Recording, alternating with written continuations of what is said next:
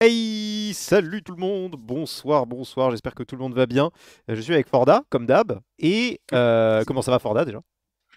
Ça va très bien, ça va Ça très bien. Le meuble est en forme, voilà. Le meuble de la Il est toujours là. toujours présent. Il est toujours là. Et avec Gaboum, euh, pour la première fois dans la Stone, je crois, comment, comment tu vas? Bah écoute, voir toujours la forme, moi je suis toujours heureux, mon avis. Gaboum, c'est parfait parce que je- t'es es une des personnes les plus, euh, les plus au fait globalement euh, sur euh, tout ce qui va être Master Tour, compétitif, etc. Donc je pense que c'était Oh euh, non c'est- c'était le bon moment pour que tu sois là. Non mais pour- on on va dire à minima sur tout ce qui est euh, deck compétitif et ce genre de choses quoi.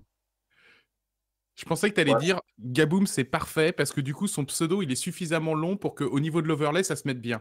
Ouais. tu.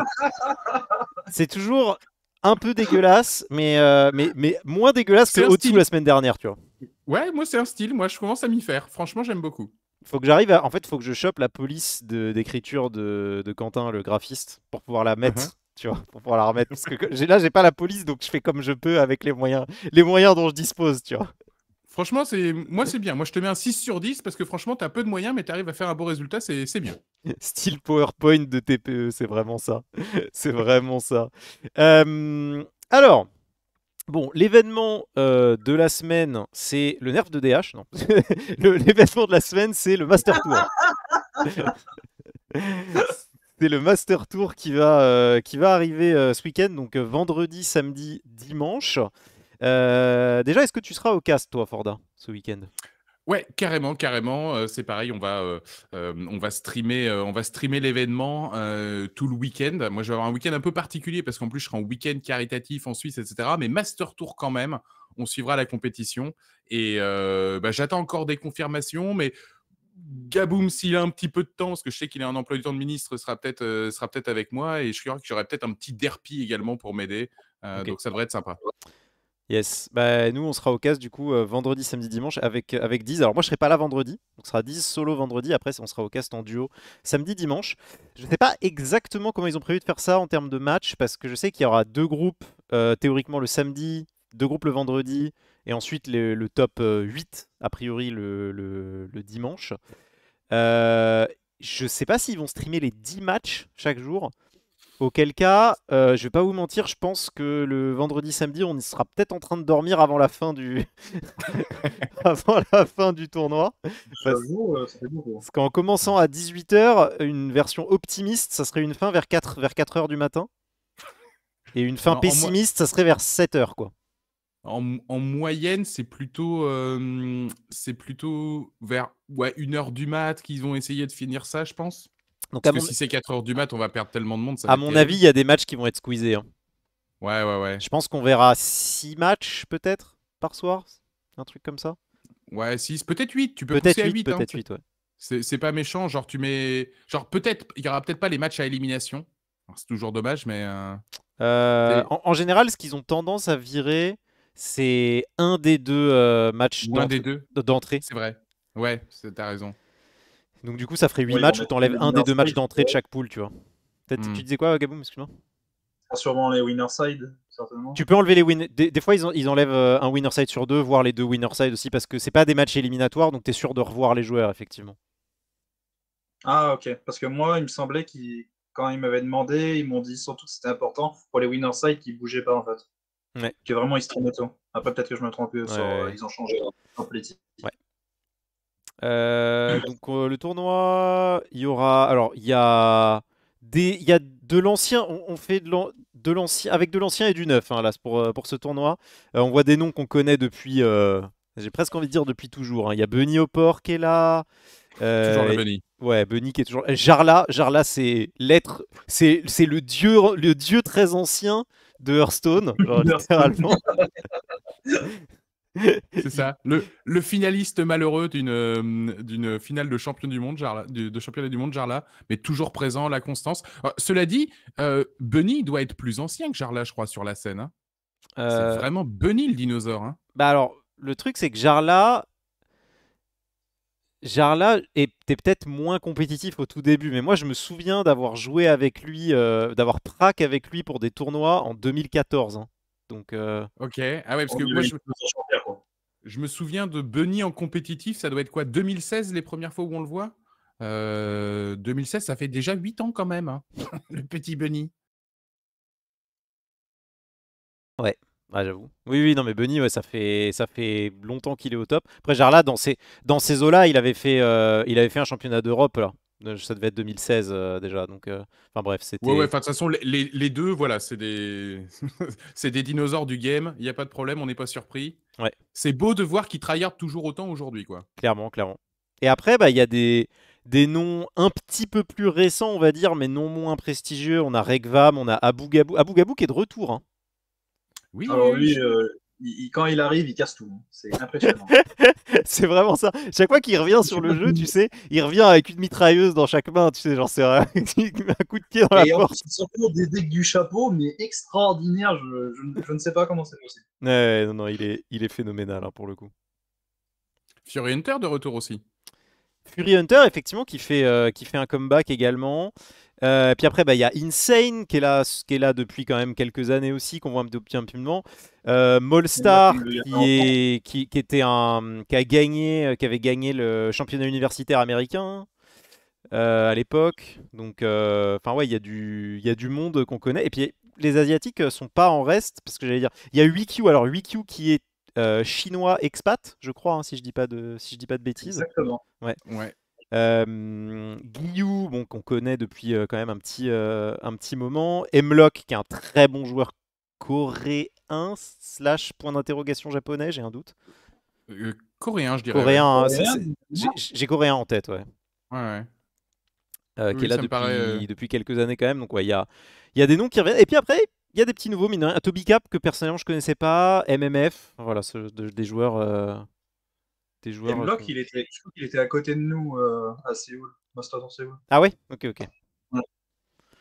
Je, je crois que c'était Hemlock et hum, l'ancien américain, euh, l'ancien euh, qui jouait comment pour l'équipe américaine, euh, tu vas pas me dire. Euh, Port Forson? Non, genre, je dis des bêtises. Mais en fait, c'était les deux qui étaient à côté de nous. Ok, ok. Je sais pas, Just Saiyan, un truc comme ça? Non, il est joué déjà. Euh, non, plus pas. Si, c'est ça? Non, pas ça, ok, ok. Non, c'est pas. Non, j'avoue que je, je sais pas. Euh, Ça commence à remonter, c'est où les gars hein? Ouais, c'est ça. j'avoue que. Euh, pas de Hein, On va Pocket pas la jouer Train. Team Boomer, mais pas loin, quoi. Alors pas de Pocket Train, non, tout à fait. Pocket Train qui a, euh, qui a pas vraiment essayé de se qualifier. Lui, voilà, il a gagné le championnat du monde l'année dernière et il a dit un peu, euh, c'était une année de ma boule et euh, là cette année, euh, je vais me concentrer sur le streaming et euh, essayer de, de kiffer un peu quoi. Alors, il me semble que c'est à peu près ce qu'avait dit également Bunny Hopper. Genre, j'avais une famille, maintenant je vais y aller euh, tranquille, etc. Les mecs, euh, les mecs savent pas se refaire, hein, c'est incroyable. Après, Fu- Fury Hunter a dit, euh, je désinstalle le jeu, je reviens plus jamais. Euh, il est, il est top 4 Europe. hein. Il est même top 1 Europe si je dis pas de bêtises en, termes- en termes de points. Ces joueurs de cartes n'ont aucune crédibilité. Ouais. Moi, ce qui m'a fait, ce qui me fait hurler, c'est que en, en, en ladder avant-hier, j'ai croisé Pavel et Colento. Tu sais, genre vraiment, les, les- les gens, T'as pris un coup de jeunesse ils sont, ils sont sans cesse de retour. La vie, la, la vie est un cercle. Euh, nous vivons euh, dans une boucle, hein, je vous le dis. et à la fin, tu tags Colento. Voilà, c'est comme ça. aïe, aïe, aïe, c'est ouf. Ouais, non, c'est euh, c'est assez, euh, c'est assez drôle en vrai. Euh, alors voilà, tout ça pour dire qu'il y a du euh, très très très beau monde. Pas forcément, je vais pas forcément vous demander de faire des pronostics parce que c'est pas vraiment évident à ce stade et on connaît pas les line-up, etc. Donc c'est Fury Hunter va les exploser. Voilà. Fury Hunter va les exploser. En vrai, Fury Hunter, le truc c'est qu'il a, je pense qu'il il, il doit toujours avoir le même prac groupe de, de, de l'époque. Peut-être tu disais quoi, Gamou Excuse-moi?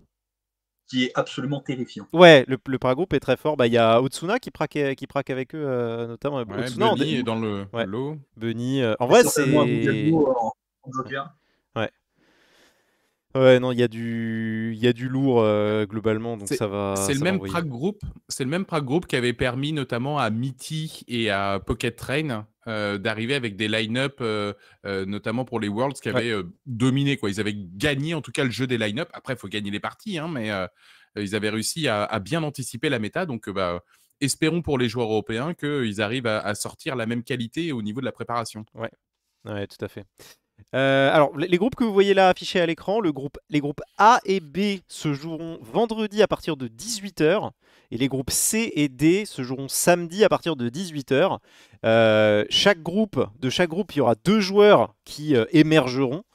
Et avec tout ça, on fera un top 8. Et le top 8 sera joué de manière très classique. On jouera l'écart, puis les demi, puis la finale. le dimanche, à 18h.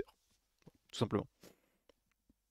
C'est c'est l'horaire. Un bon week-end à passer ses soirées devant le, devant le Hearthstone Gaming. Ouais, clairement. clairement, clairement. Je ne sais pas s'il y aura des drops, j'en ai aucune idée. Euh, je ne sais pas si on a l'info. Je ne l'ai pas vu passer, s'il y a eu l'info. Ouais. Donc dans ces cas-là, tu dis, il n'y aura pas de drop, mais soyez à l'affût quand même, venez regarder parce que peut-être. Ouais. Ça tease. Ah si, récompense. Gagner jusqu'à 3 paquets de l'atelier Mystifix en regardant les parties sur Twitch tout au long du week-end. Oh, je l'avais pas vu. Donc j'imagine que ça va être un pack par soir Au pif, comme ça Je dirais. Hmm, c'est malin ça, de faire ça. Ouais, c'est pas mal. Bon, bah il y a des drops, soyez là, soyez présents. Euh, et maintenant, moi, j'avoue, ce qui m'intéresse le plus, alors c'est très bien, on parle des joueurs, on parle des groupes, etc. Mais ce qui va être le plus intéressant quand on va euh, arriver le jour J, c'est qu'est-ce qu'on va jouer? Qu'est-ce qui va se jouer? Qu'est-ce qu'on va bah voir? euh, Ouais, c'est ça. Est-ce que tu as genre.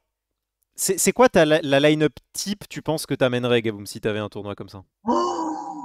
À la, à la louche, Shaman EDH, Shaman EDH guerrier. Alors en 4, par contre, c'est c'est toujours le combat universel. Quelle poubelle on ramène qui va se coupler au 3, au 4 euh... Mage? Mage, si tu bannes Shaman, ça a l'air ok en vrai. Le mage a l'air pas trop mal en vrai. C'est pas un deck vraiment 4, hein, mage. Hein. Euh, pourquoi pas mage, ouais. Pourquoi pas mage? Dit comme ça.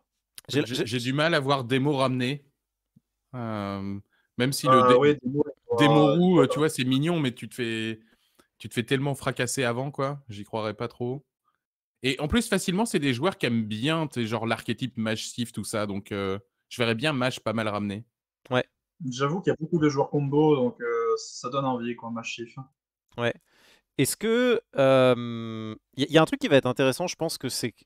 La plupart des joueurs, j'ai l'impression, petit à petit, sont en train de se mettre d'accord sur le fait que la grosse menace de, de, ce Master Tour, ça va pas être nécessairement DH, mais ça va plutôt être ça va plutôt être Shaman en réalité. Hein. Shaman. Ouais. Bah, Shaman, euh, c'est très particulier parce que c'est pas forcément un deck que tu croises beaucoup en ladder. Euh, c'est-à-dire, c'est un deck, on, sait que c'est fort, mais on, on, sent pas sa pression sur le ladder parce que bah, deux, événements, enfin, deux éléments, c'est déjà pas un deck que les gens maîtrisent facilement. Hein. Il y a quand même un certain nombre de choses et il y a bien moyen de se rater tout seul avec Shaman. Donc, du coup, bah, c'est pas forcément évident de, le retrouver. Et puis, bah, c'est pas un gameplay non plus qui est hyper épanouissant. Donc, à moins que tu sois vraiment en train de batailler pour le haut, en rapidement, Shaman, voilà. Donc, sa popularité est pas grande. Par contre, son efficacité dès que c'est mis entre les bonnes mains, mama, c'est du kill T6 plus d'une fois sur deux, la, violence, quoi. Donc, Shaman, ça a l'air d'être plus menaçant. Et j'ai l'impression qu'avec le temps, en plus, DH, on a appris ses menaces, on a commencé à bien mettre les tech cards qui vont bien contre, on sait, on sait l'affronter et au final, ça fait presque moins peur. C'est presque même limite, je dirais, le potentiel maillon faible des line-up, même si tu es obligé un peu de le ramener parce qu'il y a quand même de la puissance, mais il se pourrait qu'il y ait un week-end qui soit pas si simple que ça pour DH. Moi, c'était ma question. Et Gaboum, tu as peut-être une réponse là-dessus, mais est-ce que, est que DH, c'est obligatoire? Moi, je pense que oui, malgré que je rejoins énormément Forda sur le fait que c'est certainement le deck qui va le sous-performer. Pour la simple et bonne raison, c'est le plus facile, entre grands guillemets, à targetable. Ouais. Et parce que, à la force de faire 400 000 parties en ladder contre, on commence un petit peu à savoir parfaitement ce qu'il va faire à tel moment et tel moment. Hmm. Donc, on a vraiment de l'anticipation, on a beaucoup de practice, on va dire, contre ces decks-là. Ouais. Contrairement à Shaman qui est très imprévisible qui va te tuer en règle générale entre 5 et 6. Et il n'y a pas beaucoup de decks qui sait se défendre contre ça. Ouais, puis il n'y a pas de contre, quoi. Au mieux, tu mets un piétinement acoustique et génial, tu l'as retardé d'un tour, il va te fracasser le tour d'après, quoi. Exactement, c'est pas vraiment une solution. Ouais. Non, le, le, piétinement acoustique, euh, tu, peux, tu peux essayer de bidouiller des line-up avec plein de piétinements acoustiques pour essayer de battre Shaman. J'ai l'impression que d'une part, tu ne battras que chaman, entre guillemets, avec, euh, avec des decks où mmh tu, tu, gaves tes decks de tech cards comme ça. Et en plus de ça, bah, comme tu disais, si tu drops un piétinement acoustique, potentiellement il peut juste refaire un éclair le tour suivant, ou alors tu vas pas mmh. toucher tes piétinements alors que lui il va juste te combo tes 5 et tu vas exploser. Genre, euh, c'est. Je pense que la, la target shaman est un peu impossible. Là où la target DH euh, est beaucoup plus réaliste et il y a beaucoup de bons decks qui s'inscrivent dans une target DH. C'est-à-dire que euh, bah, Shaman, c'est très fort contre DH. Euh, guerrier, c'est acceptable. C'est pas genre. Le, le- le match-up est pas phénoménal, mais c'est très correct. hein, C'est genre, euh, c'est légèrement favorable guerrier, on va dire. Euh, Ça dépend des listes. Euh, Ouais. En vrai, si on s'amuse à faire vraiment des listes sans, sans on va dire, singleton, on joue pas du tout une liste Reno, je pense que là, tu deviens très favorable. Ah, tu atomises War. Ouais, ouais. Mais d'ailleurs, il y a quelqu'un qui est passé top 1 sur Asie, je crois, euh, la nuit dernière Oui. ou il y a deux C'est pour soirs. ça que je- c'est pour ça que j'en parle maintenant avec toi, OD, c'est que plus que ça avance, c'est plus que les listes finalement singleton, ils commencent un petit peu à s'essouffler Ouais. par rapport à l'évolution de la méta, les chamans et les, et les DH. Moi, je pense que la meilleure liste actuellement en guerrier, c'est pas du tout une liste Reno par doublons, rapport à ouais. tous ces paramètres. Ouais. Et du coup, tu joues quoi? Odin à l'ancienne? Il y a des gens qui Pas jouent forcément. quand même Bran. Euh, juste une liste full doublon. Et tu joues quand même Bran TNT en fait. Parce qu'il y a un moment, ça finira bien par tomber. Bah, c'est ça. En fait, le Et truc, c'est que de pioches, ouais. Hmm. stacker de l'armure comme un demeuré, actuellement, c'est juste très fort dans le jeu. C'est une win condition. Ah, c'est- ta méta, OD, c'est ta méta, putain, vas-y, vas-y, fonce, fonce, fonce. Trade des, des 1-1 avec des 8-8. euh, Armor ça gagne aujourd'hui. Armor Up, ça gagne. C'est- C'est un peu moins vrai en fait si. Ça dépend un peu de ce que si les DH font la transition vers le, vers le, le package Naga aussi. Parce qu'on en parle de plus en plus et je sais pas à quel point c'est. À quel point c'est- plus fort, moins fort, euh, que- quel match-up ça améliore. Mais euh, on voit des DH, notamment en top ladder, faire la transition vers le package, euh, vers le package Naga, revenir sur la, sur la, petite, sur la petite sharpshooter. Et ça, c'est vrai que ça peut bien changer la donne, mine de rien. C'est actuellement, selon HS Replay, le deck en top 1000 légendes qui a le meilleur win rate. Euh, DH euh, euh, tireuse de précision, là. Je suis super surpris sur le fait que ça a le meilleur win rate parce que ça, con- ça quand même, ça demande beaucoup, beaucoup, beaucoup de maîtrise. En légende top 1000, hein, t'assumes que les gars, ils savent piloter quand même un minimum. Hein. Je suis Mais, assez euh, d'accord. C'est vrai que ça se liste plutôt bien au top 1000. Mais euh, voilà. Euh, autre petite euh, classe dont on n'a pas parlé, mais qui pourrait aussi euh, hum, s'immiscer dans pas mal de line-up, c'est prêtres. Ouais. J'ai l'impression que les prêtres dragons, là, euh, ça commence à gagner en stabilité. Ah euh, en. On à trouver la liste, hein, enfin. hein. On a mis du temps, mais on la trouve. Pretzarimis, Pretzarimis, ça commence à avoir de la gueule, je suis d'accord. Euh, de ce que j'ai compris, ça se fait oblitérer par Shaman, mais tu pars sur, sur le principe d'un ban Shaman euh, avec, euh, avec ce, genre de, ce genre de deck? Ouais, je suis pas sûr qu'on voit beaucoup de chamans. hein, parce que j'ai l'impression qu'il n'y a pas de bonne réponse, il n'y a pas de bon truc à faire. Ah, tu veux dire Donc, à tu, mon ils avis- vont être ban de manière générale ouais, c'est ça. vont Ouais, ouais, oui, oui. Ah, ils Ouais. seront dans les line-up, il n'y a pas de problème, mais ils vont aspirer tous les bans de la planète, à mon avis. hein. Ouais, je, que- je- je pense que Shaman, ça va effectivement être un gros paratonnerre. hein. Je pense. Hein, je-. Vas-y, Ouais. Forda, vas-y. Non, vas-y, vas-y, Gabou. Euh, Pretzarimi, euh, on, s- on savait que contre DH, c'était pas non plus la joie. Donc, est-ce qu'il y a vraiment un monde où il va trouver sa place Parce que contre Guerrier, c'était pas la joie. Contre DH, c'était pas la joie. Contre Shaman, on n'en parle même pas. Là, c'est une souffrance absolue. Ouais. Ça fait déjà trois decks qui va être surreprésenté. Est-ce qu'on a vraiment envie de s'empaler Alors, Dans moi, je pense, que, je pense que le match-up comptoir est pas mauvais. Juste que les gens le jouaient n'importe comment. Euh, Ah, peut-être. mais- manque de maîtrise. Mais je pense vraiment que le match-up comptoir est plutôt solide pour le coup, pour le prêtre. Tu peux vraiment setup des des kills et hum, t'as tu as vraiment de la, longévité avec le deck. euh, Je, je pense vraiment que le match-up est pas mauvais, mais je, parle euh, sans énorme connaissance de cause. hein. Pour rebondir dessus, justement, par, par rapport à l'évolution des guerriers qui va être moins singleton, il n'y a pas moyen que ce soit plus problématique pour Prêtre? Pour passer tous ses PV parce que là, il Ouais. y en a de l'armure. hein. On va en faire. hein. Ouais, ouais. Non, je, je- je- je- je te rejoins sur le fait que guerrier, ça peut peut-être être intéressant de le jouer euh, full doublon au final. hein. Dans, dans cette. euh, Ouais, très dans contrôle. cette veine-là. Genre juste, juste guerrier, euh, au- limite Osef de la win condition dans une certaine mesure, tu vois. C'est juste, euh, juste tu veux faire des PV quoi, dans la plupart des, la plupart des C'est matchs. l'ennui, hein, c'est ça la bonne condition. Ouais, non, c'est, ça, peut être, euh, ça, va être intéressant effectivement de voir comment les, comment les guerriers sont construits. Euh, prêtre, euh, prêtre Zarimi, ouais, c'est, c'est clairement quelque chose qu'on, c'est clairement quelque chose qu'on pourrait voir.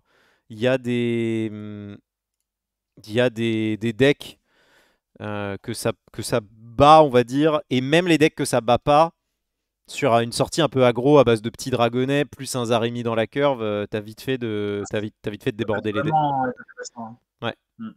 Ouais. Très vite. Ouais. Le Ziliax est monstrueux dans le deck, le truc qui donne plus un plus un là quand tu peux le, le projectionniste et tout là, ça fait des choses de fou. Ah, il, est, il est incroyable, Ziliax, incroyable. Non, Zaremi, hum, ça a mis longtemps à se mettre en place, mais là, ça, on arrive, hein, comme on le disait, euh, sur une decklist qui se tient à peu près. Alors, il y a des tags, vous pouvez ajuster. Euh, tu joues Leroy, tu joues pas Leroy, etc. Euh, mais mais mais il y a vraiment une bonne base. Euh, par contre, c'est vrai que c'est un deck où il faut avoir une très bonne connaissance des match-ups. Il faut savoir quand est-ce que tu fais ton Zaremi, dans quelles conditions, de quoi tu as besoin. et ça fait en ça que c'est un deck qui nécessite quand même une certaine maîtrise à la fois du, gameplay, mais également de connaissance de la méta et des match-ups. Donc c'est pour ça qu'en ladder, c'est pas forcément le deck qui rayonne le plus, bien qu'il il se retrouve aussi avec un très bon, avec un très bon win rate si on fait un focus simplement sur les win rates du top 1000. c'est un des tout meilleurs decks, le, le, le prêt de Zaremi. C'est pour ça que je serais pas surpris qu'on envoie, qu'on envoie quand même quelques-uns pour ce Master Tour. Ouais. Ouais, tout à fait. je pense que près de Zaremis sera représenté. Hein. ça, c'est une mmh quasi-certitude. Il y en aura parmi les 16 joueurs. Il y a une autre classe qu'on devrait voir. Alors, je ne sais pas dans quelle mesure, genre, mais c'est DK. Je pense que DK devrait oui, être. devrait briller, hein, mine de rien. Bah, en par rapport à tout ce DK, de base, contre guerrier, c'est pas mal. En général. Enfin, contre guerrier Highlander, c'est plutôt solide. Euh, contre DH, c'est pas trop mal. Ah, c'est même vraiment pas mal contre DH. Si t'es teché un petit peu, mais euh, les écraseurs en quartzite euh, démolissent le DH à eux tout seuls. Ouais, ça peut être. Alors, ça peut être. Il y a plusieurs types de, DH. Il y a, y a, de l'arc-en-ciel, il y a du. deux. Contrôle de la peste. Ouais, c'est ça. T'as deux rouges, un vert. Un vert de rouge, c'est ça ouais, un verre de bah, santé, l'ami. Un verre de rouge. C'est l'apéro, voilà, on y est bien. Enfin, t'as pas mal de as pas mal de petites choses qui sont jouées euh, qui sont jouées en DK. Ce qui fait le taf surtout, c'est que c'est les ficelles. Hein. Euh, les ficelles, ça fait que tu, tu, ne perds pas contre un deck qui tente de jouer le board. Ouais, mais est-ce que dans un field comme ça, avec ces joueurs-là, il va y en avoir beaucoup qui vont tenter de jouer le board? Moi, je suis pas sûr. Hein. Ouais, mais tu vois, t'as fait... prêtre, euh, t'as t'as hum, DH, genre, c'est pas, pas si anecdotique. Il y a Rogue dont on n'a pas encore parlé, mais dont on va parler après. Mmh je, en fait, j'ai un petit doute en fait sur le sur le DK. À mon avis, il y en aura pas beaucoup parce que c'est pas non plus le style de. Enfin, le deck, si tu veux, il est, c'est très mid, c'est très lent. Tu fais qu'un truc par tour. Enfin, c'est, il n'y a pas beaucoup d'impact. T'as pas de finish rapide tu t'embarques dans des long games, mais tu laisses aussi pas mal d'opportunités potentiellement à, tes, adversaires pour te tuer. Et face à une batterie de bah, j'ai ramené toute la famille, des combos, etc. Ah, tu peux avoir un tournoi, euh, j'allais dire un tournoi long. Bah non, justement, pas très long, tu vois, un peu, un peu difficile avec ton DK. Donc, il y a une vraie nécessité à ban, à ban Shaman si tu joues DK pour le coup. Mais c'est pas gênant ban Shaman. Ça dans l'esprit. Non, non, ça, ça rentre dans l'esprit. Ouais, ouais, mais tu vois, je pense à un match Sif par exemple. Tu rencontres match Sif, euh, c'est la play. Ouais. Enfin, je sais pas, je. Mmh. Moi, j'y crois à DK parce que c'est l'un des, des, très rares classes qu'on peut vraiment bidouiller un peu ce qu'on veut. Oui, ça, parles de, justement du principal défaut, ça va être contre Machif. Bah, moi, ça ne me dérange pas de jouer des rats, d'essayer de l'handicaper avec des, des stompers, euh, tout ça. En tout cas, DK a beaucoup de slot flex, contrairement à beaucoup de classes où vraiment là on va jouer ABCD et on va pas s'amuser à mettre des cartes pour euh, déséquilibrer le deck. Là, DH, on en a besoin en fait. On a besoin de cette petite lueur où il va vraiment se mettre dans certains matchs. Par exemple, contre Guerrier, comme disait Odemian, euh, des cas, ça se copie plutôt pas mal parce que les pestes, malheureusement, on peut rien en faire du tout. Ouais. Et alors, si jamais il joue Odin, euh, tu le gèles 20 fois et. bonne chance. Il va falloir que tu fasses quelques rénaux au garçon pour pouvoir euh, le taper. Mais du coup, c'est pareil. Moi, ce que j'aime bien avec DK, c'est que actuellement il y a des line-up, on va dire un peu Ignis Beast. On va jouer Ignis un peu dans tous les, dans, tous les decks parce que vraiment la carte est absolument turbo broken euh, en tournoi, c'est-à-dire qu'on peut isoler complètement Mage avec une seule carte, ce qui est terrifiant. On a besoin de taper que deux fois avec Ignis et c'est fini. Ben, alias Fury des Vents euh, dit. Fury des Vents, euh, comment armure, ben on passe plus. On ne passe juste plus. C'est ça qui est incroyable. Et je pense que ça, DK, il peut vraiment faire un dégât monstrueux sur ce genre de line-up. Ouais. Ouais, non, je suis, je suis, je suis, je suis assez d'accord. Je pense que.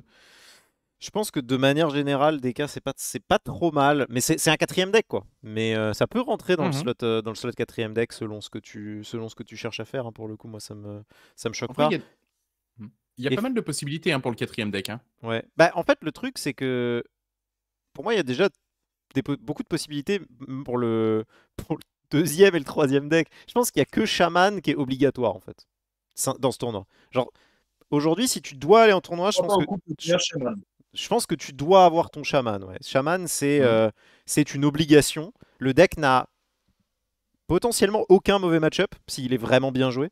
C'est- Ça reste, à, ça reste à déterminer, mais c'est c'est clairement une- une possibilité. On n'est pas le- loin en tout cas, ouais. Ouais, bon, on on n'est pas loin en tout cas. Le reste du field, euh, pour moi, c'est possible de pas amener DH. Je dis pas que c'est bien de pas le faire, tu vois, mais c'est envisageable de pas amener DH. C'est envis- complètement envisageable de pas amener War. Et donc, euh, c'est vraiment très ouvert quand même. hein. En fait, il y a qu'une seule classe que je vois à coup sûr euh, ramener zéro, quoi. Euh, Je pense que démoniste peut y en avoir peut-être un ou deux. démo, quand démo- même. démo, c'est envisageable, ouais, je pense. Démo, c'est envisageable, mais il y a qu'une classe que je vois vraiment à coup sûr qui sera pas là. euh, Ah, il y en a, il y a deux, il y a deux classes qui sont injouables, je pense. hein. Ah ouais? Ah bah, euh, moi, je vois mon poteau Uther. euh, de- hum, Un petit druide, ça pourrait passer. Hein. Impossible, druide. Vraiment, druide, Ah ouais je, je suis Ah, prêt à. je- pense Tu, veux parier, tu veux est-ce que tu veux parier, euh, Ah, bah, allez, allez, allez, je parie. sur, euh, sur, sur un druide? Il y a bien un asiatique qui va me popper un druide là. Qu'est-ce qu'on parie? Euh, Le resto, le resto, resto. bah, J'allais dire, comme, vu comme on a 5 subs, ça te va? Allez, go, ça, vas-y. Allez, allez, vas-y, vendu. allez. Je parie, Oh, zéro, allez, je parie sur je- zéro si druide. ça bon, Il y a un c'est seul. Pélos qui ramène druide. C'est bon, c'est c'est chez Bibi. Ok. Le chat, évidemment, vous votez. Hein. Est-ce que vous êtes Team OD Est-ce que vous êtes Team Forda? Voilà, vous, vous dites ce qu'il en est. hein. Euh, on parle de ramener un druide ou d'une win d'un druide? Non, non, on parle de Non, non, un des 16 joueurs qui ramène un druide. Ouais.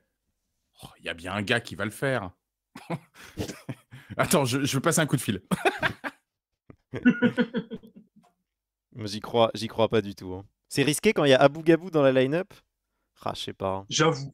Ah ouais, non, mais oh, pour moi, lui qui a parié contre Druide avec Abu Gabou, il y a pas gagné. toujours un gars qui te ramène un druide, machin, qui va te sortir. Ouais, mais j'ai testé sur le field et tout, machin. Ça se mettait bien, mon quatrième deck, paf. Et il va te sortir un druide dragon bricolé, bricolé de je sais pas trop comment. Et... Ah, il y a Druide Dragon qui a fait top 1 avant-hier. Hein. Mais oui Mais oui Attends, attends, attends, attends, parce qu'il a fait top 1 en partant de top 2. hein. Je tiens quand même à le, je tiens quand même à le repréciser. hein. Alors, alors attention, il y a aussi une contre-information à ça. Il a joué sur Asie. C'est une méta parallèle. Ouais, vraiment. Euh, est-ce qu'on croit. Ok, est-ce qu'on croit à chasseur et voleur? Paladin, bon, Paladin, on est tous d'accord, il y en aura zéro. Genre, c'est impossible que quelqu'un ramène Paladin? Impossible. Impossible. Le- c'est- c'est- en fait, ça ne gagne pas à ce niveau-là de jeu. Et il... il est là pour faire le show, il voulait pas gagner. hein. Paladin, c'est sûr et certain. Ah, il s'est fait découper de tous les côtés. euh, c'est bon.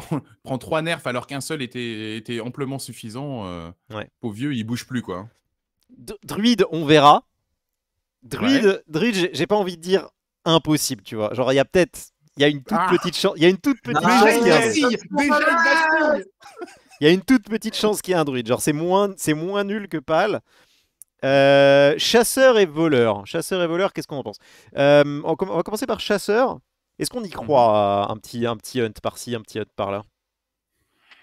Bah, faudrait qu'il y ait quelqu'un qui soit parti sur un plan d'un- d'une line-up assez agressive, euh, parce que c'est à peu près la seule chose que tu peux faire avec, euh, avec Chasseur. Le deck est pas déconnant, mais j'ai du mal, euh, j'ai du mal à voir ça. En tout cas, nos Européens, à mon avis, c'est quasi sûr que non, ils n'auront pas de, ils auront pas de Chasseur. Mais Hmm. on voit des fois des builds un peu. Ah ouais? Ouais, Bunny, il est capable de sortir des strats comme ça. hein. Enfin, Bunny, le truc, c'est que. Bunny, il aime bien le contrôle en général plutôt. Bah ouais. Ouais, mais il est fort sur ça parce qu'il a des bons rigs de méta. Il est capable de, de complètement aller à contre-pied et de jouer des decks où tu ne l'attends pas. hein. C'est comment Moi, chasseur, chasse- chasseur contre chaman? Est-ce que quelqu'un a une, ne serait-ce qu'une vague Alors idée? justement, vous vous parlez des mauvais match-up de Shaman, qui est quasiment inexistant. Il y en a un qui est à peu près 50-50, et ben c'est contre Chasseur. Ouais. Parce que euh, euh, contre Guerrier, Shaman, bah, Shaman bien joué, ça met plus de 70 dans la tour, donc euh, bonne chance pour Guerrier, généralement. Et, et étonnamment, j'ai joué le match-up du côté Shaman contre Hunter, et ben c'est pas si facile. Si le Hunter est trop rapide pour toi et que tu n'as pas les gestions euh, sur 3 et 4, bah tu meurs. Tu peux juste rien y faire. Juste la petite 1-4 qui stack l'attaque là de, tout- de toutes tes Ouais, créas, ça, ça doit va- être va terrifiant quand tu joues chaman ça. Ça va vraiment très très vite, mine de rien. Ouais, ça pêche pas Et mal de dégâts. hein, c'est. Et les Non, c'est- 3-1, ben, c'est le même problème qu'avant. hein. C'est-à-dire que si tu n'as pas de réponse dans l'immédiat contre les 3-1, bah, tu as pris trop de dégâts. Ouais. Et tu meurs à distance. Ça, ça serait sur un ban DH du coup plutôt. hein. Ouais. Euh, oui, Moi, je Oui, suis un gros, je suis, je suis un gros believer. Excuse-moi, vas-y, euh, Forda. Non, non, non, je voulais juste dire que tu te faisais oblitérer par le Mactéridon euh, hyper réduit qui arrive Ouais. très tôt. Donc, euh, ce, ce serait l'optique. Ce serait d'aller taper justement les chamans et des- et d'esquiver les DH. Je suis un, je suis un believer, moi. Euh... Vous allez peut-être me dire que je suis fou, mais je pense que le match-up chasseur contre War est pas si mauvais pour Hunt. Euh, Actuellement. au jeu. C'est pas possible. T'as dit quoi? Tu joues pas au jeu, c'est pas possible. Ah, si, je t'assure que si. Je l'ai- je l'ai je l'ai pas mal joué des deux côtés. Et franchement, non, mais toi, t'es- joues en rang 3000, là, ça y est, t'es Non, non, dans mais une méta parallèle, tu commences t'es- à m'inventer des t'es devant en War. T'es devant en War. Mais c'est pas genre. euh, Mais alors, pourquoi tu me dis que C'est pas genre, c'est pas catastrophique, tu vois. Ça, le, le match-up se joue, genre c'est pas comme si tu tags le match-up et t'as lose quoi. Ansel, Bon, c'est très fort. hein. Je vais essayer de En sauver un. Un présentateur en détresse. Je suis assez d'accord avec Odé sur le coup. Genre, le match se joue. En fait, il y a le truc, c'est que les guerriers, souvent, c'est des guerriers Highlander. Donc, du coup, euh, il y a moins euh, la facilité d'avoir la réponse adaptée, etc.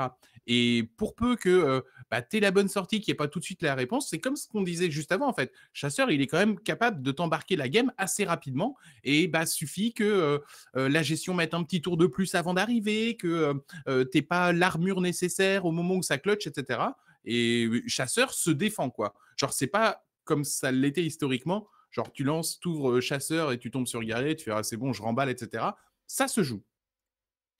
Alors oui, je l'entends, contre Highlander, effectivement, Ouais. c'est plus problématique parce qu'on n'a pas toujours les bonnes réponses euh, au moment clé. Mais alors, un guerrier avec toutes les cartes x2, bah, bonne chance, Rexar. Moi, je, je- je t'aime de tout mon cœur, mais là, Garrosh, euh, il va pas plaisanter avec toi. On en parle beaucoup de ce guerrier, euh, de ce guerrier euh, avec doublon au final, mais ça va. Juste, juste en en discutant comme ça, j'ai l'impression que t'as presque pas de raison de ramener des, de ramener un guerrier full Highlander en fait. Quand tu le. La seule raison, ça serait genre le mirror quoi. Ouais, le mirror. Et puis, euh, est-ce est-ce que face, face au. Faut voir face au combo, en fait, qu'est-ce qui va te rapporter le plus de chance. Ah, c'est d'avoir deux, au- c'est d'avoir deux shield blocks hein, qui te et deux petits cochons 1-3 là Ah qui ouais, hein. contre Moi, je pense que contre Sif, euh, c'est appui sur armure pass. Hein. C'est ce qui fait gagner. Ah, je sais pas, mais contre Sif, Sif, ça te met quand même vachement plus de dégâts que ça, parce que si ça a le temps de te préparer son truc, ça va te faire Sif, ça va dédoubler Sif et ça va t'envoyer euh, des potions plein la tête, euh, t'as des trucs rats, réduits de partout, quoi. Ouais, ouais, c'est- Mais- ah, mais c'est les rats, voilà, c'est ça, Ah. c'est les rats qui peuvent euh, mettre en danger, ouais. Tu as plus de, place en fait à faire des, choses que Sif il va pas apprécier, des stompeurs, des rats, tu peux vraiment bricoler contre elle. C'est pour ça que vraiment la line-up, euh, on va dire full Ignis avec War doublon, en- ah bah Sif il va pas passer un bon moment. hein. Même euh, Shaman, ah, Shaman tu pourrais peut-être l'embêter, c'est vraiment du soft. hein. On parle pas de target Shaman parce que c'est de la fo- folie pure et dure, mais de l'embêter de lui faire un petit soft target, de peut-être lui voler une partie ou deux. Ouais. Si on vole deux parties, là, c'est champagne. Mais si on arrive à, à bricoler ça, ben, on se met bien quand même dans, dans le BO. hein. De toute façon, il est possible que si tu ramènes une line-up aggro et que tu tags un mec qui te joue guerrier doublon, bah euh, finalement, Ouais, euh, tu laisses le DH, euh, il y aura peut-être un shot et tu gères le guerrier ban, doublon. Ouais, ouais, ouais, c'est clair. Parce que DH, s'il touche pas son Mactéridon, il y a match, hein. J'avoue. Ouais, clairement. Clairement, clairement. Donc, euh, donc ce serait l'optique. Mais Ouais, on va peut-être avoir un joueur euh, Asie-Pacifique qui va nous ramener un truc comme ça, un truc un peu exotique euh, avec du chasseur, mais ça restera assez marginal. Ouais. Et enfin, dernière question du coup, est-ce qu'on scam avec, avec notre ami notre ami Ziliax et le voleur? Est-ce que on joue voleur scam ou pas à ce tournoi? Ouais, je pense. Ah, je pense qu'il y en a qui vont le tenter. Hein. Je pense qu'il y en a, qui vont le tenter. c'est un coup de poker, faut le faire. Faut, faut le tenter. Quand tu te sens, on va dire, pas assez fort contre tes adversaires, ça. il faut les scam. C'est logique. C'est ça, quand tu euh. vois le field et que tu commences à te dire je vais pas être capable d'être meilleur que mes adversaires, il faut que j'arnaque le truc, etc. Boum, tu joues ce voleur-là et, tu pries, quoi. Après, le truc, c'est que là, c'est que des mecs qui ont, euh, 20 000 heures de jeu dans les deux derniers mois, quoi. Enfin, genre, c'est... Il y en a pas, à mon avis, qui se disent je suis moins bon, faut que je... Faut que je... Faut que je... Une vraie question. Une question, une question, Bon, actuellement, vous êtes qualifié pour le Master Tour. Bon, déjà, voilà, ça commence mal la question. Mais on est qualifié. Vous jouez contre Fury Hunter, qui joue, c'est-à-dire 28 heures sur 24. Il arrive à, extendre 4 heures qui n'existent pas dans l'espace-temps. Et vous allez le jouer en BO5. Qu'est-ce c'est quoi votre plan? Mis à part le scam, honnêtement. Ah, moi, c'est ma strat. Hein. Il y aura forcément quelqu'un qui va, qui va regarder le film. Est-ce que j'ai vraiment envie de jouer contre un Bunny Hopper et un Fury Hunter qui joue 28 heures sur 24 non, on va pas jouer avec tes armes, on va jouer avec les miennes, je vais te scam. Mais... Voilà. non, non, clairement. C'était dans, le euh, groupe, dans le groupe de Fury Hunter. T'as Insane également dans le même groupe. Je peux te dire que les deux autres. Euh... on le souhaite bien du courage. Hein. Alors s'ils sont là, c'est qu'ils ont, ils savent jouer, mais enfin bon, courage. Hein. Peut-être on peut peut-être préciser vite fait ce que c'est voleur scam, parce que je pense qu'il y a des gens qui connaissent pas forcément.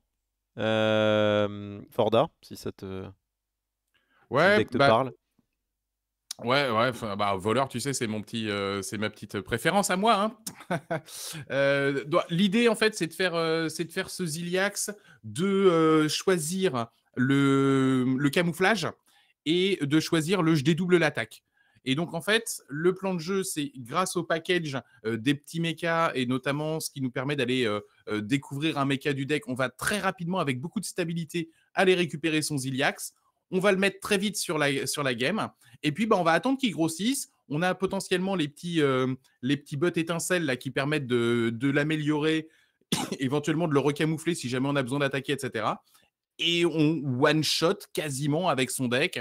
Euh, on peut, en fonction des versions, bénéficier de sap pour éventuellement virer le taunt qui pourrait embêter. Et en fait, on va euh, connecté avec la tête de l'adversaire quasiment une seule fois dans la partie. Mais par contre, bah, on va lui mettre une, baffe, à, une baffe à 36 euh, et, il va partir sur Pluton. J'ai pris 56 voilà au tour 6 tout à l'heure.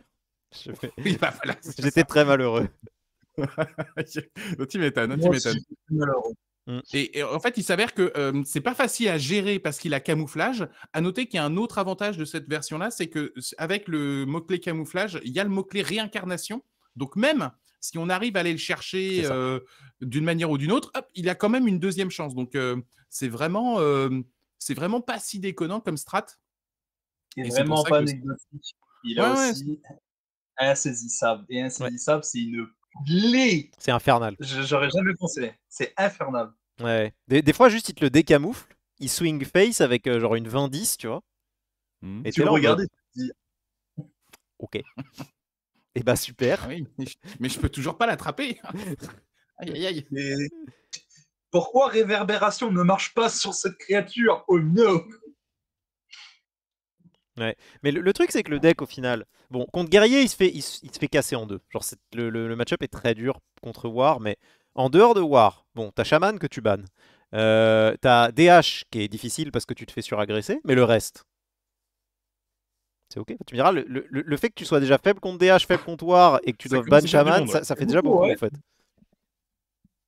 Mais après, il y a un monde. On peut le ramener. C'est un quatrième. Après, les quatrièmes, historiquement, n'a jamais été des decks. Euh, voilà.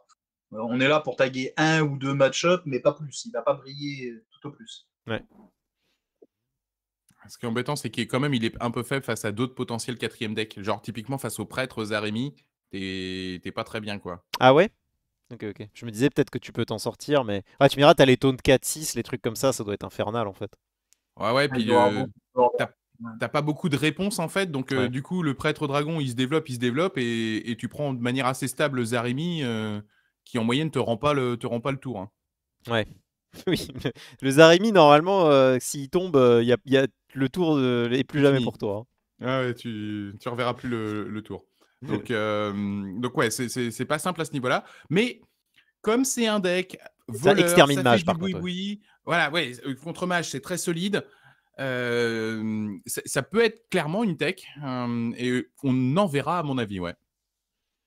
Ok, ok. Et le, et le voleur miracle avec les, les géants de maison de poupée là Est-ce qu'il y a. Est-ce que ça peut, ça peut être un truc?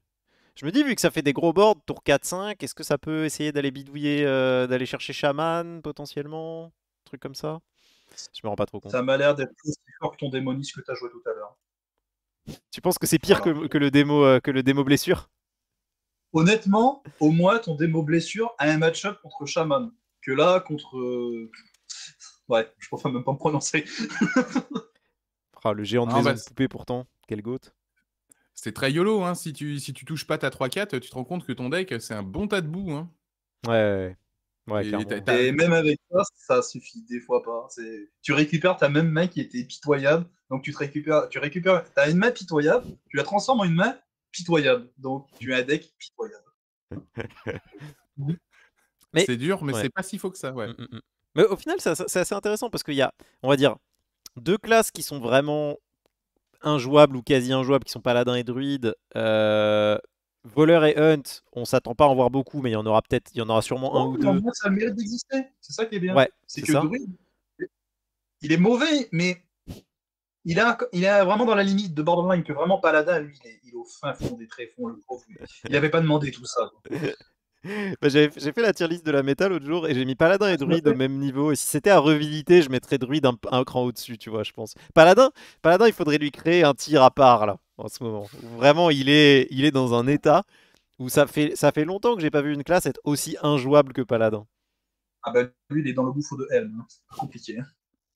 En même temps, ils l'ont pas loupé. Hein. En une semaine, bim, trois nerfs, tout ce qui est à peu près potable se fait découper. Ah, il bouge plus. C'était son seul plan de jeu en plus, parce que t'es souvent, tu peux avoir des classes qui ont euh, deux archétypes qui se mettent un peu en avant, mais là, c'était vraiment, il avait tout misé sur ce côté-là, euh, euh, de- cet archétype vraiment mid, euh, buff, etc. Fracassé, bah, le pauvre Uther, il, il bouge plus, quoi. Ouais, non, On a Charon qui essaye de faire des, qui essaye de faire des trucs euh, Charon qui est- avec, mais qui est top 200 en paladin. hein. Probablement le seul paladin du top 200, tout serveur confondu. hein.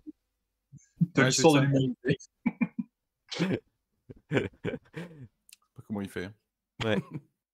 Et, Il joue euh, contre des adversaires tout simplement. Et on aura euh, bon du démo, on en aura un petit peu probablement. Et après les six autres classes, euh, les six autres classes seront représentées hein, par euh, plusieurs joueurs. Enfin, je veux dire, elles seront, elles seront toutes, toutes les, six autres classes seront jouées. Ça c'est, c'est à peu près une certitude. On verra un peu. Ah oui, Je pense que toutes les classes seront représentées sauf Paladin. Vraiment, toutes les classes seront représentées sauf Paladin pour moi. Je, je suis quasiment convaincu. Ouais, 5 subs pour le royaume. oh, le, royaume, le royaume qui va s'enrichir d'un coup. On va voir, on va voir. Moi, je, je, je crois, je pense toujours que après, après avoir prac pendant trois mois et euh, enfin avoir joué pendant trois mois pour se qualifier et avoir prac pendant euh, pendant je sais pas combien de semaines euh, en s'arrachant tous les jours, c'est potentiellement du trolling de ramener druide, mais euh, et que les que et, deux mois. et que les 16 joueurs vont s'en rendre compte, mais on va voir. c'est possible, c'est possible. Euh, ils ont pas que deux mois, hein, cela dit. Euh, C'était cette année. Ah euh, bah si c'est que deux mois, alors ils vont tous ramener raccourcis. pas de problème. Bah voilà, exactement. Du coup, je suis serein, tu vois, tranquille. Oh, le petit Gabou Gabou là qui va faire top avec son druide là. Mmh. Mama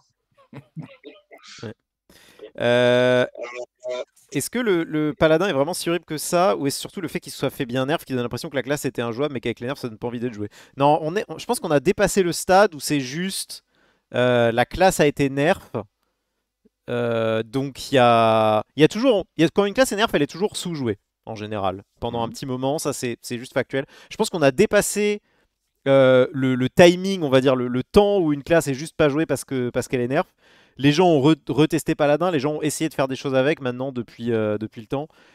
Et je pense que c'est juste, c'est juste, c'est juste avéré que la classe est poubelle, quoi. Mais même dans les rangs bronze à or, Paladin domine plus. T'as vite fait un archétype N-buff qui chasseur essaye de, que de subsister. Maintenant, c'est chasseur, c'est DH. mais, mais même là, où ça devrait être le territoire du terre, tu vois, contre vents et marées, normalement, bronze à or, t'as toujours Paladin qui existe, qui fait des choses. Même là, il, est en PLS, le pauvre Uther. Ah non, non, franchement, ils l'ont, fumé, quoi. C'est incroyable. C'est une honte. Yep. Ouais, non, clairement, ils lui, ils lui, ont, fait, euh, du mal à ce pauvre, euh, Voilà, on devrait voir euh, un peu tout le reste, ce qu'on disait, ce qu'on disait jusque, là. Et il va y avoir des nerfs cette semaine aussi. On n'en a pas, on en a pas parlé, mais ça a été lourdement teasé, on va dire qu'il euh, y allait avoir des nerfs. Alors, c'est pas cette semaine, pardon, c'est la semaine prochaine, hein, ça hmm. Ouais, en fait, c'est semaine. Bah, c'est juste après le Master Tour, en fait. Juste après le Master Tour. Alors, ça, va être nerf euh, léger, parce que c'est pas encore la fenêtre de tir pour la vague de nerf, mais ils ont décidé de s'attaquer à DH Hein, parce qu'évidemment, bah, euh, suite à la première vague et aux premières modifications, bah, DH était sorti comme le grand vainqueur. On en voyait partout. Et c'est vrai que les synergies ultra puissantes, euh, avec bah, l'arme notamment que tu affiches qui permet d'aller chercher euh, le, lèche-vitrine directement et qui te ramène les découvertes de démons, etc. Une synergie hyper puissante qui a pris beaucoup le pas sur la méta, bien que ça se calme un petit peu. Alors cependant, bah, le, le, temps de décalage toujours entre le moment où ils prennent la décision et le moment où c'est actif sur le jeu bah, fait que euh, voilà, c'est pas toujours évident. Et donc, c'est annoncé que sur le, prochain patch qui aura lieu, je crois c'est mardi prochain, enfin après le, après le MT en tout cas, il y aura, il y aura du coup DH qui sera touché. on ne sait pas encore comment, mais ça devrait être que DH par contre. Ouais. Est-ce que potentiellement une méta full shaman. Est-ce que c'est justifié d'après vous? Bah Gaboum, tu peux commencer. Est-ce que tu penses que c'est normal? Je vais vous laisser discuter, après je vais donner mon avis. Vas-y, vas-y, vas-y. Très tranchant. Euh, est-ce que c'est justifié? Oui, je pense.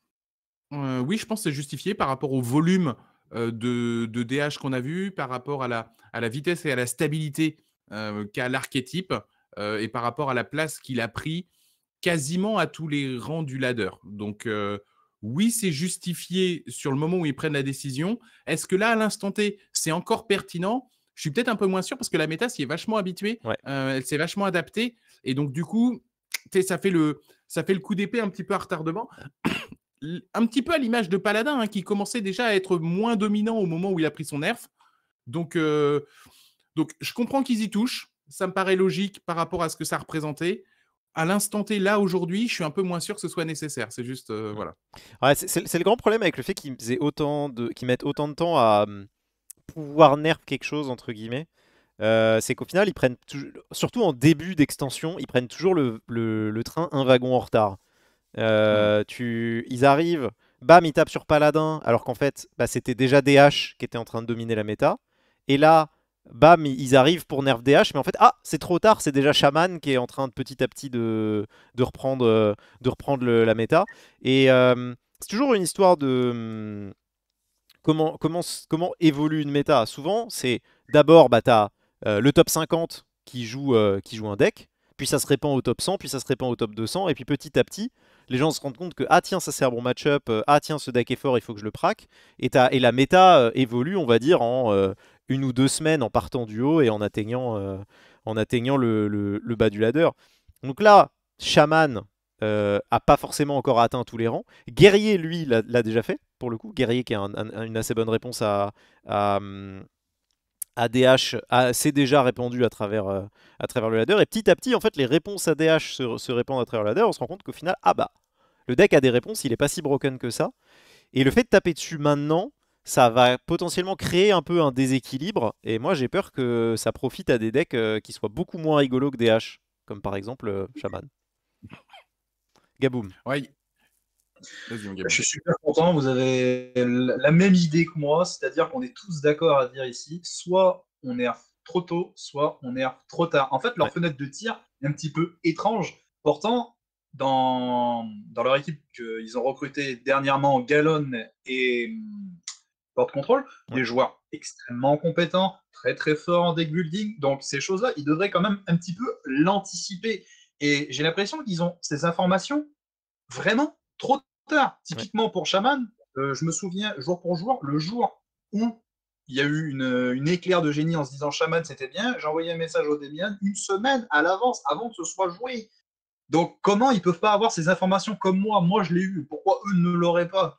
Tu, vois un petit peu le, le, cercle vicieux. On attend toujours le après qui est terrifiant. C'est-à-dire que là, on, part, on part 15 jours en, en arrière. On jouait DH, on se dit DH est super, l'arme elle est vraiment très forte, le démon est vraiment très fort. On s'adapte, on joue contre, blablabla. Et bien 15 jours plus tard, on le nerf quand même. Mm. Bah non, c'est le, même, le même problème que vous avez fait avec Paladin il n'y a, pas, a pas plus tard que 15 jours encore. Donc ça va être quoi, Shaman On va re-attendre 15 jours pour euh, renerfer encore Shaman Ouais, c'est le gros problème. C'est le gros problème de la, on va dire la l'usine à gaz que tu as dans une, dans une grosse entreprise. C'est-à-dire que eux, ils sont obligés d'annoncer leur nerf en général euh, une semaine, voire 15 jours à l'avance, quoi. Ouais. Donc, euh, et la chose que, que, je ne supporte pas personnellement, c'est les nerfs.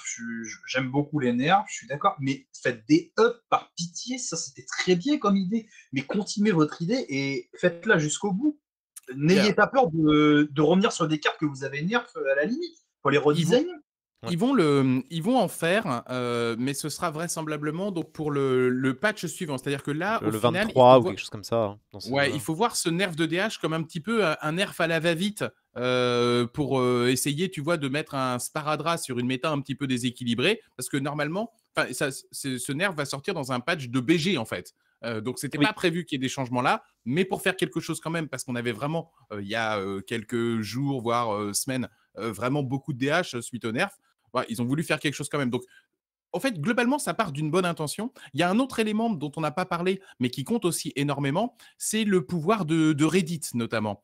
Et Reddit, en fait, qui est donc un réseau social sur lequel il y a beaucoup d'échanges, notamment sur l'équilibrage du jeu, etc et où au final, tu as, euh, la Vox Populi qui vient euh, tomber comme ça sur des archétypes et se plaindre vraiment d'archétypes. C'est ce qui est arrivé un petit peu à Paladin. Beaucoup de gens sont pleins de Paladin. Donc, du coup, bah, ils ont regardé les chiffres et hop, ils ont dit Ah ouais, bon, il y a peut-être quelque chose à faire. Euh, parce que nous, on pense beaucoup, parce qu'on joue en légende, à la méta niveau légende.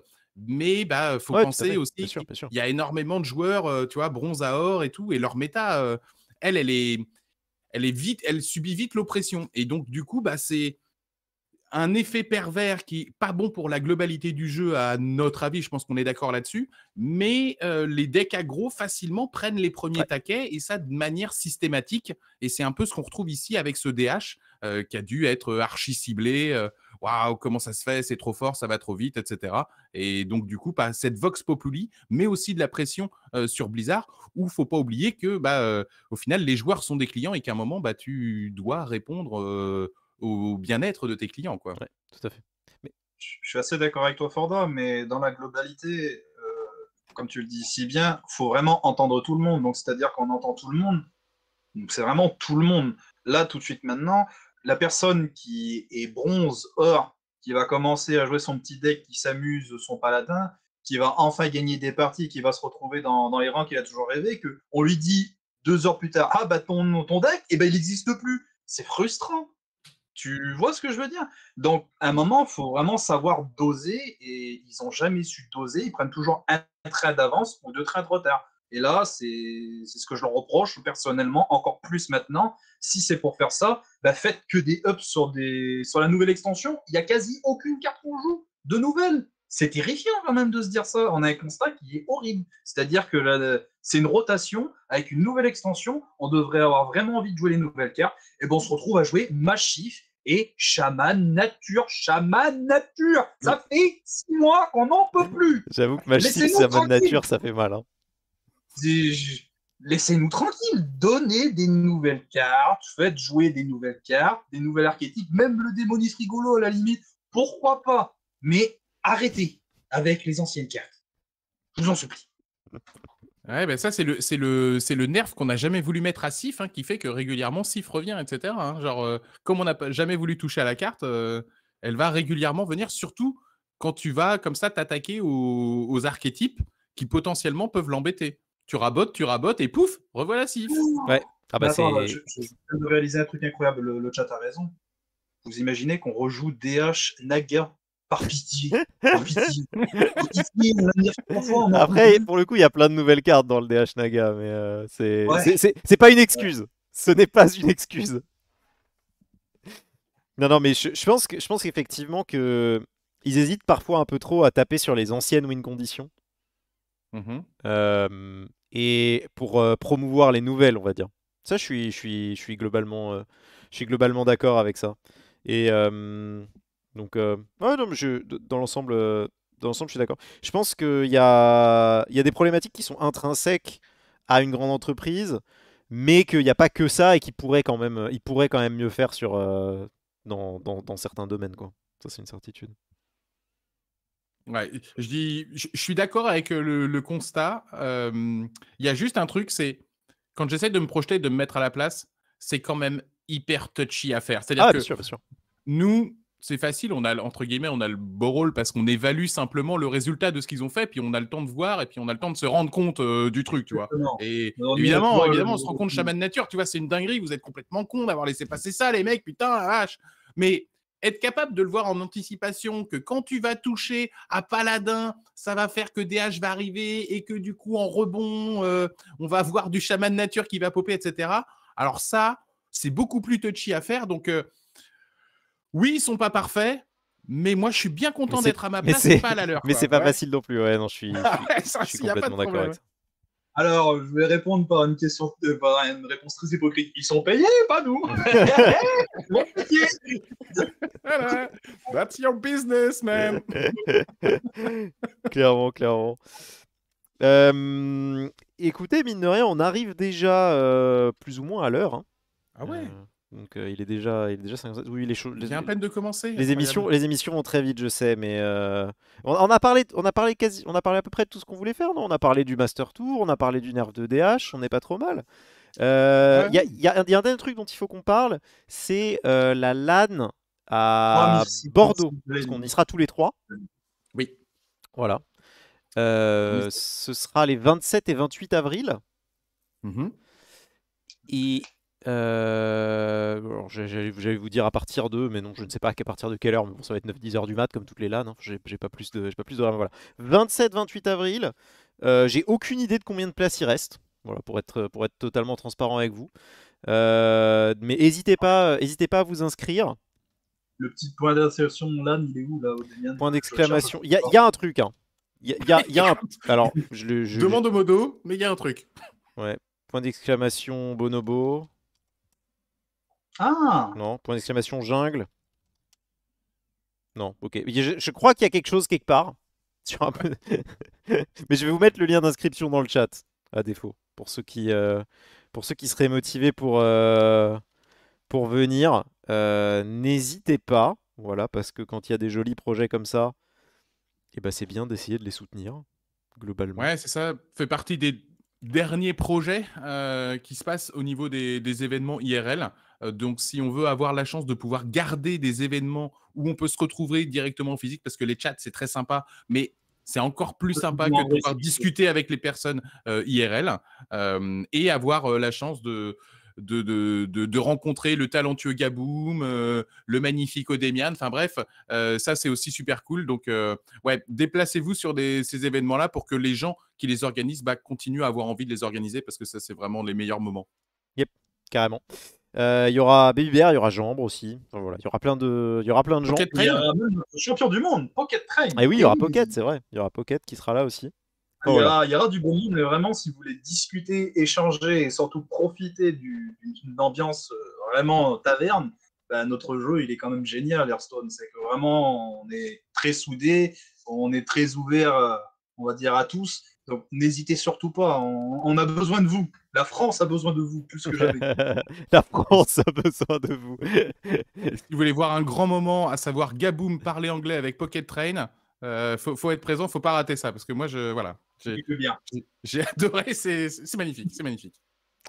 Euh, yes, carrément. Euh, on aura aussi du coup euh, BG Duo qui sort la semaine prochaine. Ça, je pense que ça va être, euh, ça va être, euh, ça Ah, va être, ça va être très marrant. T'en feras un petit peu quand même, Forda, ou pas? Ouais, ouais, ouais, bien sûr, on en Ouais. fera un petit peu, histoire de, de faire une team éclataxe. Il faut que je trouve quelqu'un qui soit aussi euh, talentueux que moi, et puis ça va être rigolo.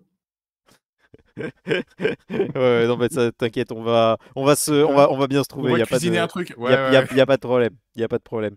Euh, et euh, bien sûr, n'oubliez pas le Master Tour à partir de 18h vendredi, samedi et euh, dimanche.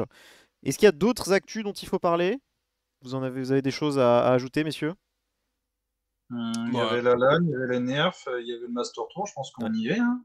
Ouais. euh, alors, actu, rien à voir avec Hearthstone, mais euh, on aura dans deux semaines, euh, a priori, à partir du 22 avril, normalement, nous on diffusera le, euh, nos épisodes de Un dîner quasi parfait. Voilà, donc l'émission qu'on a tournée où euh, chaque, on va tous, euh, voilà, chacun manger euh, chez, chez, chez les autres et voilà, donc c'était un sub goal qu'on avait, qu'on prépare depuis un bon moment maintenant, mais voilà, on va enfin pouvoir, enfin pouvoir les sortir. Donc voilà. On vous fera, va y avoir un teaser et tout qui va, qui va sortir, mais normalement ça devrait être, ça devrait, ça devrait sortir la semaine du 22 avril. Voilà. Et pour terminer, bah, juste, voilà, moi j'ai deux petites, euh, deux petites actus en ce moment. Donc ce week-end, je casterai le Master Tour, mais en direct de Suisse, où je participerai au, au LC Action. Donc il y a un week-end caritatif qui est fait euh, pour soutenir. Ce sera euh, Médecins du Monde, si je ne m'abuse. Donc on sera en direct de là-bas. Euh, et voilà, si vous voulez faire un beau geste, une bonne action, bah, vous saurez où me trouver. Je serai bien sûr en direct de la chaîne du Royaume. Et, ça, ça va être plutôt cool. Il y aura des sub-goals de malade à faire. Bref, ça va être, ça va être très sympa. Et dernière chose, sur le YouTube, j'ai commencé une petite, une petite série de vidéos où on fait le point sur chacune des classes avec tous les archétypes qui peuvent exister dans les classes avec la nouvelle méta. Donc voilà, donc si vous cherchez des idées, eh ben, vous pouvez retrouver ça aussi sur le Royal YouTube. Magnifique. Eh bien, il nous reste à vous faire des bisous. On vous dit au revoir. Et on se retrouve, bah, vous retrouvez un peu tout ce, tout ce petit monde à minima pour le Master Tour ce week-end, voilà, sur les diverses, euh, sur les diverses chaînes concernées. Gros bisous tout le monde, passez une très bonne Ciao, soirée. ciao.